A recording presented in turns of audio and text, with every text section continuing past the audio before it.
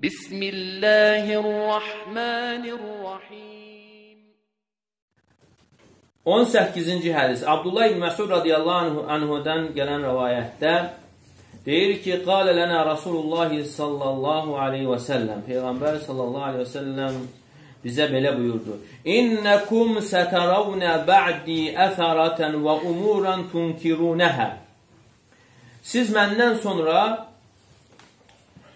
insanların haqqını mənimsəyən və xoşlamadığınız bir işlər görəcəksiniz. Yəni, elə kimsələr olacaq ki, insanların haqqını mənimsəyəcək və münkər işlərlə qarşılaşacaqsınız. Və onlar soruşurlar ki, Fəmə tə'murunə ya Rasulallah. Ey Allahın elçisi, bizə nə, nəyə əmr edirsən belə bir vaxtda?